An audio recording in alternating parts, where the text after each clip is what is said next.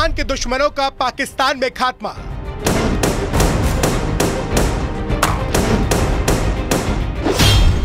पाकिस्तान में बेमौत मर रहे आतंक के आका।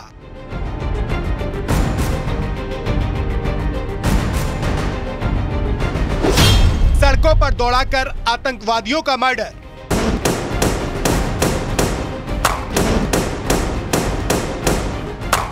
हिंदुस्तान के दुश्मनों की पाकिस्तान में आफत आई हुई है।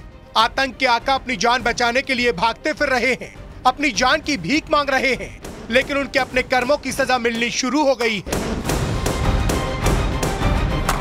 पाकिस्तान में सड़क चलते आतंकवादियों का मर्डर हो रहा है।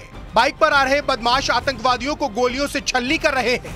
नवंबर के महीने में अब तक लश्कर के तीन और जैश के एक आतंकवादी की मौत हो चुकी है।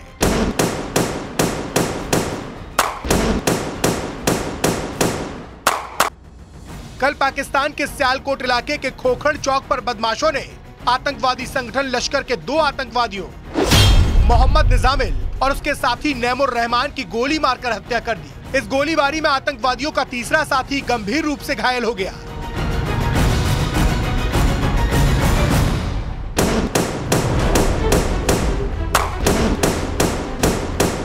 पाकिस्तान के सियालकोट में हुई इस वारदात का एक सीसीटीवी फुटेज भी सामने आया। बताया गया कि फुटेज में जो कार दिख रही है, आतंकवादी उसी कार में मौजूद थे। और मोटरसाइकिल पर आए बदमाशों ने उन पर गोलियों की बरसात कर दी। इस फायरिंग के दौरान कार के बाहर एक आतंकवादी गिर गया। फायरिंग के फ़ौरन बाद हमलावर मोटरसाइकिल पर बैठकर वहाँ से फरार हो गए। ठीक इसी तरह एक रोज पहले कराची में अज्ञात हमलावरों ने मौलाना तारिक रहीम की गोली मारकर हत्या कर दी थी। मौलाना तारिक रहीम जैश मोहम्मद चीफ मौलाना मसूद अजहर का करीबी था।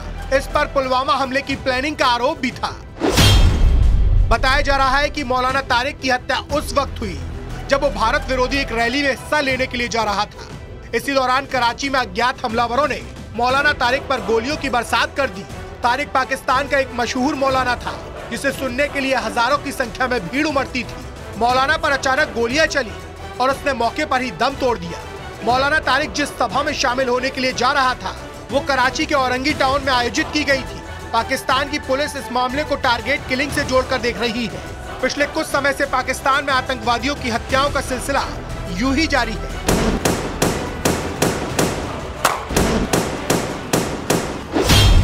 पिछले दिनों लश्कर तैयबा के आतंकी अकरम खान उर्फ़ अकरम गाजी को खैबर पख्तूनख्वा के बाजौर में ढेर कर दिया गया था। पिछले महीने, यानी अक्टूबर में आतंकी शाहिद लतीफ की हत्या पाकिस्तान में कर दी गई थी। इसके पहले सितंबर के महीने में लश्कर के टॉप कमांडर रियाज अहमद उर्फ़ अबू कासिम की हत्या हुई थी। इसी साल फरवरी में हिजबुल के आतंकी वशीर अहमद पीर उर्फ़ इम्तियाज़ आलम की हत्या की गई थी।